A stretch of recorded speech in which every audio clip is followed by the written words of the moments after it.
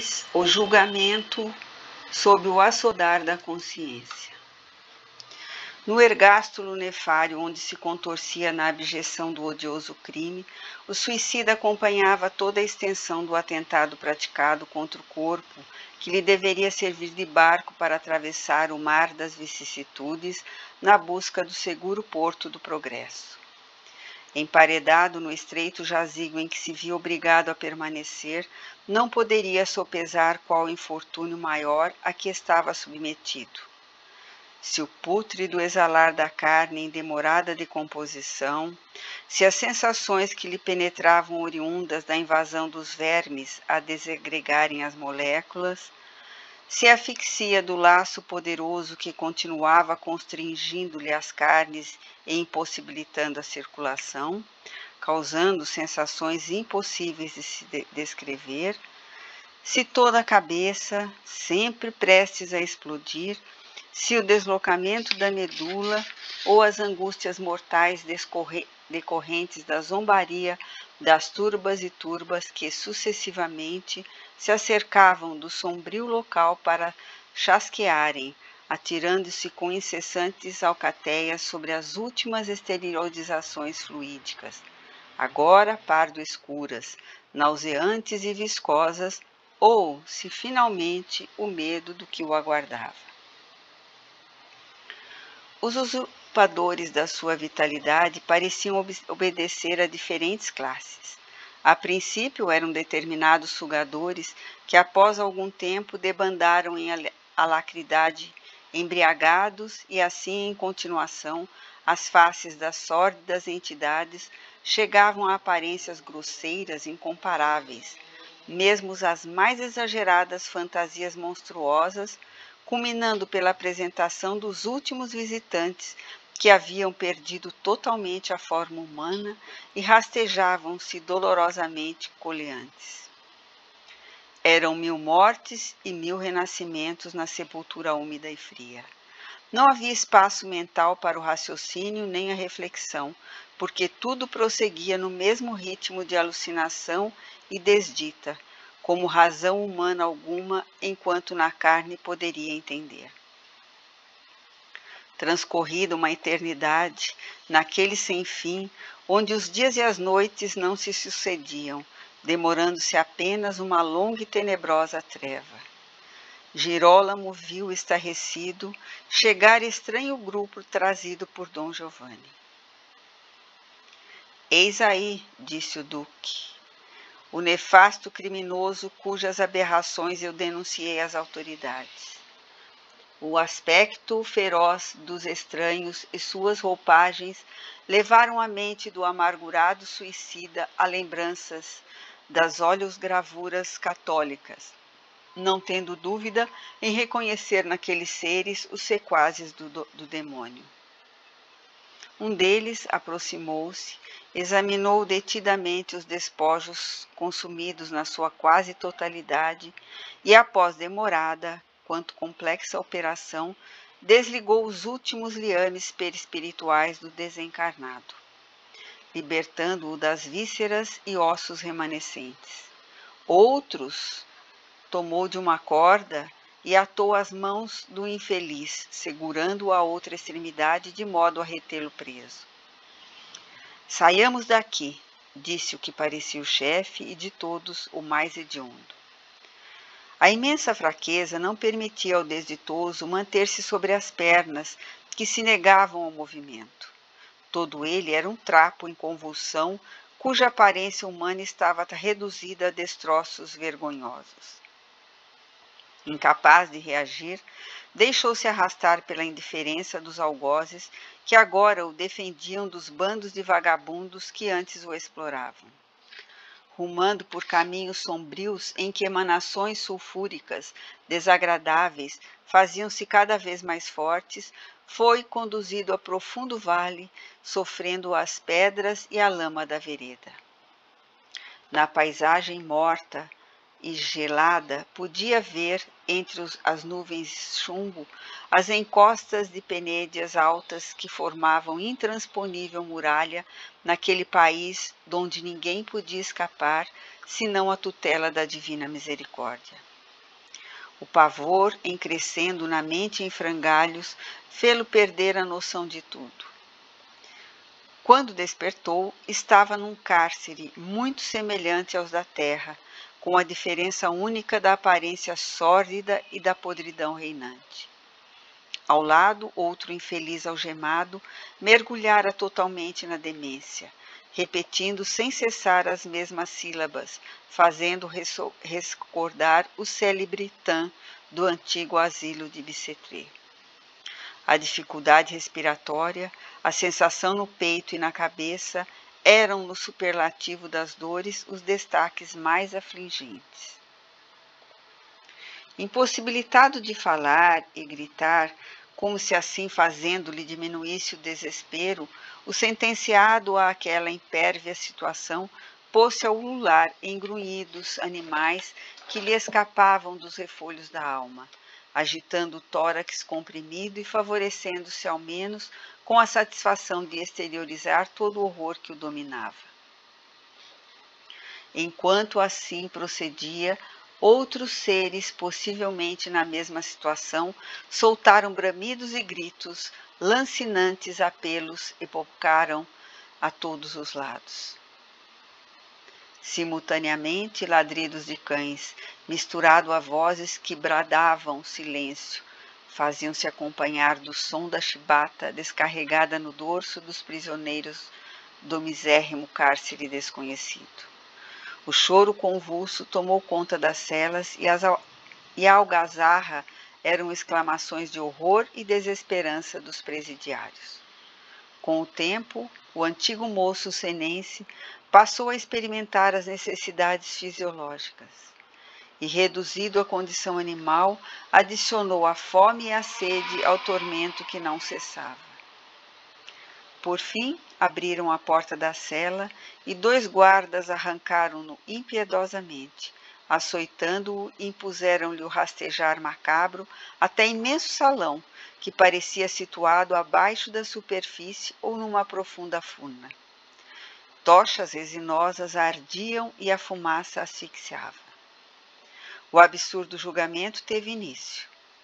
O suicida, quase nas raias da loucura plena e total, foi arrojado a um assento brutesco e sem a possibilidade de entender quanto se desenrolava ao seu redor e sobre seu espírito. Passou a ouvir com inaudito esforço as acusações terrificantes. Muitos eram os julgados do dia. Na sua vez, um ser infernal, de aparência chocante, arengou algumas palavras em latim, como se houvera pertencido a alguma organização religiosa da terra, depois do que foram chamadas as testemunhas de acusação. O primeiro a apresentar-se foi Dom Giovanni, que se transfigurara em horrendo, quase impiedoso algoz. Eu acuso Girólamo dos crimes. E passou a citar minuciosamente todas as maquinações que culminaram nas contíguas tragédias perpetradas pelo acusado. Referiu-se às constantes interferências da duquesa, que, inclusive, suplicara-lhe a ele, ora acusador, abandonasse os seus intentos de vingança. Que retornara também do além-túmulo para impedir que o bandido continuasse a dar curso à longa loucura de destruir vidas inutilmente nada o detinha, nem as incursões que ele próprio, senhor da herdade, fizera utilizando-se de um sensitivo grego para falar-lhe. Sustentou que não o deixou mais desde aquele instante, sitiando-lhe a mente nefária insinuando que ele deveria pagar por meio da loucura e do suicídio os crimes cometidos, a fim de surpreendê-lo com as armas da justiça que naquela casa se ofereciam aos lesados, para punir o que os, os que os exploraram. Agora, solicitava permissão para apropriar-se do seu sicário e nele aplicar os corretivos que merecia, aplacando a sede que o devorava no ódio irrefreável. Girólamo reviu as cenas nas quais fora implacável com as vítimas que lhe estremeciam nas mãos contidas em garras. Repassou o trágico incidente do solar quando do trucidamento das crianças e Lúcia, e reviu, reviu na mente marcada, indelevável pela tragédia. Aos seus ouvidos agora registravam, na memória do remorso a manifestar-se, os ruídos das indefesas crianças e o gorgolejar do sangue na garganta de Lúcia. Súbito horror dominou-o pela primeira vez, compreendeu a extensão dos seus delitos e excessos. Lembrou-se de assunto a comparsa e nesse momento acompanhou-a na descrição de sua própria tragédia, também acusadora, diante do magistrado que parecia de pedra, com um semblante pálido, sem qualquer expressão de sentimento, desinteressados das desditas de cada um dos que ali vinham depor. Dei-lhe meu amor, lamentou a inditosa, e ele tomou a minha vida nas suas mãos, destroçando-me antes a honra e depois aniquilando-me o corpo. E eu que tanto o amei. A voz dolorida do, da cômpara antiga feria o verdugo impenitente. Só então pôde descobrir que também chegara quase a amá-la, mas resvalara pela rampa da ambição desmedida e selvagem, dos desejos infrenes em que se consumia. Ante as acusações terríveis que lhe pesavam sobre a consciência, as dores outras, as agonias diversas pareceram ceder para que tivesse ciência da enormidade dos seus desmandos e recebesse o castigo para o qual não se encontrava preparado. Silenciando-o, Assunta, o prometor acudiu relatando que as outras vítimas não foram encontradas, tendo desaparecido. Ignoravam ou desejavam dar a impressão do desconhecimento do divino amparo que as recolhera, socorrendo-as em instâncias felizes, noutras regiões da espiritualidade. Ergueu-se o magistrado, obeso e mau, grunhindo entre dentes impassivelmente. Prisão perpétua, que seja entregue ao, prejudicado maior para que esse o suplicie. Munido de rélio longo cortante, Dom Giovanni acercou-se e, segurando o desgraçado, aplicou-lhe ali mesmo no tribunal, para escarmento dos outros que seriam julgados, aumentando neles o pavor a estampar-lhes nos rostos macerados as primeiras sevícias, enquanto a assunta, deformada no seu faciés de loucura, prorrompeu-se em sardônicas e longas gargalhadas. Dobar-se-iam nos anos em decênios longos e sombrios a partir de então, no estranho reino da impiedade e da loucura, resultando, resultado das mentes devoradas e satânicas que da terra mesmo elaboram o suplício que supõe merecer, acalentando nos painéis da alma as tramas infelizes em que caem mais tarde, quando cessa o pulsar da vida orgânica no sentimento atormentado e no corpo ultrajado. Os atos humanos são os corifeus da paz e os artífices do inferno interior que aguardam a consciência após a vitória do espírito sobre o corpo que perece. As religiões sempre coube o papel de esclarecer ao invés de atemorizar e reunir mistérios desnecessários entre a lei do amor, simples e invioláveis do Pai, falindo nos objetivos elevados de conduzir o homem conspurcaram as águas límpidas do cristianismo, elaborando pelourinhos da urdidura múltipla para as mentes desativadas ou tímidas que se vinculavam impossibilitadas de libertação, engendrando pavores e liberdade ao preço ignóbil das moedas que enferrujam. Deixaram espíritos dos povos sem as necessárias quão valiosas ferramentas do equilíbrio atravessando longamente o desenvolvimento das criaturas. Com o advento do Espiritismo, porém, abrem-se os pórticos da luz total e as claridades do amor e da sabedoria penetram os umbrais sombrios do orbe, proclamando a vitória do Cristo com, as, com a ignorância e a dominação dos enganados enganadores do poder temporal vinculado pelos crimes ao duque tornado revel, o vampirismo pernicioso do ódio irracional imantou as duas entidades, fazendo que a vítima continuasse a sucumbir cada vez mais inerme na vingança produzida pelo desafeto igualmente tresloucado. Transcorriam os decênios na luta tiranizante do sofrimento. Nos intervalos do expurgo da consciência culpada, Girolamo passou a recordar as visões que tivera da duquesa quando ainda na carne, e concentrando-se de quando em quando nas lembranças que pareciam luz frouxa que se acendesse para longo, apagar-se foi fixando lentamente no desejo da paz, evocando o amor que recebera e, em consequência, passou a situar o pensamento em outras faixas da esperança. Conquanto não tivesse lucidez necessária para discernir, discernir ou aspirar à tranquilidade. O ser tragado pelo simundo deserto não pensa. A luta pela sobrevivência de forma animal, sem o uso da razão, a semelhança do afogado que braceja em terrível busca de qualquer meio de salvação. A duquesa, a seu turno, desde a consumação do suicídio pelo sobrinho vigilante, não cessava de orar. Mais de uma vez, utilizando-se de recursos sutis, pudera visitar os dois espíritos queridos entregues à voragem da desgraça a que se arrojavam desdistosos, sem contudo poder interferir nos destinos que lhes comprazia experimentar, para não violar as leis supremas que dirigem a vida.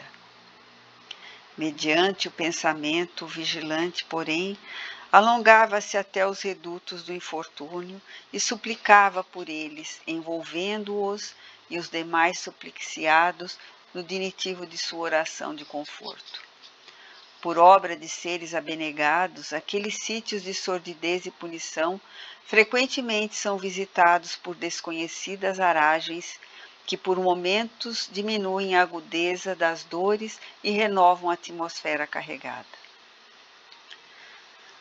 Na mente de Girolamo, em crescente desejo de reparar e diminuir as dores excessivas, surgiu um intercâmbio, intercâmbio benéfico, de cuja continuidade resultariam os planos libertadores para o futuro de todos os implicados nas sucessivas tragédias. Assim, algumas décadas passadas, a duquesa conseguiu dos espíritos superiores que Dom Giovanni Girolamo fossem recolhidos das penosas circunstâncias em que se encontravam para reiniciarem a caminhada, recuperarem o tempo e reaparelharem-se para a vida. Na mesma dimensão de misericórdia, foi apelo estendido a Assunta e a Carlo, que sofriam noutros recintos a desidia da loucura pessoal decorrente das desregradas existências. Considerados a título da benigna senhora, os infelizes foram, cada um à sua vez, recolhidos dos tormentos em que se debatiam e levados a esferas de refazimento, pois enxameiam também os, os pousos de paz e os redutos de reconforto, onde os transfugas se retemperam para o amanhã.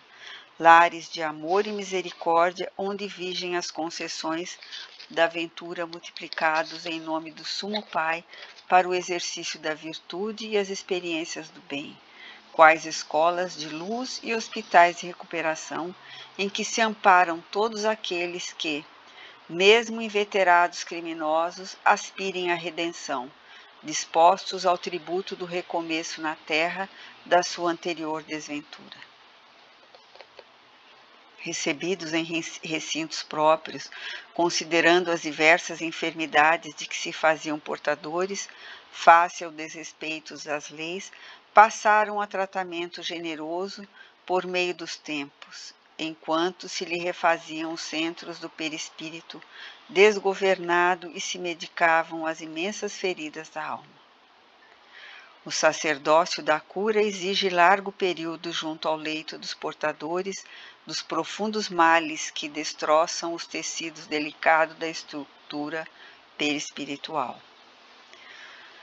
Vivendo os pesadelos dos antros em que se encontravam anteriormente, traduziam a loucura que dele se apossara e que deveria ser dirimida à força de muita caridade para que o reinício na terra, em nova aprovação, lhes concedesse o retempero de ânimo, porquanto, se a justiça da terra invariavelmente tem a preocupação de punir, sem nunca retribuir o amor e a retidão, por considerar que tal é dever. A justiça divina objetiva corrigir e amparar, estimulando todos os pródamos da esperança, a fim de que se multiplique e transforme em sementeira de abundante reconforto e paz. Só pouco e pouco, Girolamo passou a dormir, recolhido à longa hibernação, na qual se apagariam as impressões gravadas na mente desvairada. O duque, igualmente hospitalizado, foi tratado pelo carinho de enfermeiros sábios que buscaram frenar a ardência e a volúpia do ódio sob os pensos do sono refazedor e calmante. Assunta, devidamente atendida, começou a experimentar assistência maternal e amiga, a fim de despertar-lhe os sentimentos superiores da feminilidade em promessas redentoras para o futuro. E Carlo, igualmente socorrido, ele que se permitira penetrar na trama daqueles destinos, foi medicado nas lesões danosas que o martirizavam, preparando-se todos, sem o saberem, para novas incursões na carne bendita, onde expungiriam, pelo imperativo do renascimento, os erros, formando a família da fraternidade, que é o primeiro passo para a família do amor. Graças ao sublime concurso do amor, por meio do paulatino transcorrer do tempo, aqueles espíritos rebeldes, à semelhança de milhões de outros tantos, mergulhavam nas dúlcidas águas dos rios do sono, para que fossem diminuídas, a princípio, e depois apagada, quanto possível, as impressões muito dolorosas causadas pelos períodos longos de perversidade a que se entregaram enfermeiros abençoados que fazem da existência o miraculoso recurso do auxílio ao próximo, desdobravam-se nas enfermarias em que se encontravam internados, aplicando-lhes recursos múltiplos de refazimento, atenuando no perispírito os efeitos das calamidades vividas, especialmente em Girólamo, de modo a reajustá-lo para o tentame futuro, sem violento compromisso da matéria de que deveria revestir-se, resgatando em etapas os graves compromissos firmados com a ferocidade e o vandalismo. Quando lhe permitiam os deveres superiores, a senhora os visitava, oferecendo-se para atendê-los, aplicando-lhes valiosos fluidos de refazimento e meditando a cabeceira do esposo, profundamente hibernado tratamento de grande significação para o estado de desvario a que o mesmo se permitira entregar. Naquele momento, conquanto a elevação de que era portadora não sopitava as lágrimas e pérolas transparentes rolavam, falando das suas dores ante os lances de agonia e sombra por onde deveriam recomeçar aqueles amores. Ocorre que não há céu para quem tem a retaguarda os seus queridos, perdidos nos dédalos da treva. O reino de venturas seria um lugar deserto caso ali não estivessem os anelos do coração, representados por aqueles outros espíritos amados a quem todos nos entregamos e em cujo concurso sublime defrontamos a alegria de lutar e o estímulo constante para crescer. Dir-se-á que a felicidade é uma conquista pessoal e intransferível. Todavia, ninguém suporta vencer os múltiplos estágios da purificação se não colocar o ideal do amor como meta próxima e remota. Próxima na representação do ser vinculado ao sentimento superior e remota na dimensão do Cristo, representando o excelso amor. Face a essa inatingida meta, aquela veneranda mulher que alcançara a aventura de ser feliz, descia dos cimos abaixadas, fazendo recordar o sol jornaleiro visitando as furnas para ministrar luz e vida, sem contaminar-se com a emanação pestilencial do charco que oscula e depura. Vendo em atitude de reflexão profunda ante o leito alvinente do enfermo amado, em que a inconsciência arrancava de período a período estertores patológicos que refletiam as profundas intoxicações espirituais absorvidas no largo período que quase, de quase um século, graças ao ódio corrosivo emanado e absorvido pela fonte mental dele mesmo, não se poderiam negar que a felicidade jamais se expressa em regime de solidão de individualismo, de personificação única. É hálito de luz que se transfunde enquanto clarifica e liberta das trevas envolventes. Os enfermos, todavia, não obstante o carinho de que eram alvo, não conseguiam facilmente anular todo o passado de choques violentos e conúbios degradantes a que se fixaram fortemente com outros seres infelizes dos recintos de onde procediam. Assim, mesmo amparados, recebi, recebiam não poucas vezes a visita mental dos antigos comparsas, e nesses momentos eram dominados por singulares pesadelos que os atormentavam fazendo-os reviver por meio do intercâmbio dos pensamentos afins às antigas torturas das furnas.